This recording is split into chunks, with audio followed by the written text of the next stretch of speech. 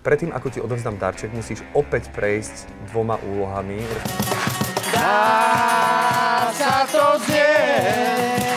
Tak A musíš uhádnuť, čo sa tam vo vnútri Bol raz nachádza. jeden kúzelník.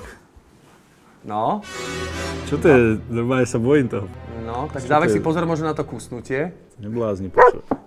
Čo to je? Počúvaj. Počkaj. No, Kuriatka. Ďakujem veľmi Nech sa ti pekne. darí. Tringel ti dám nejaký?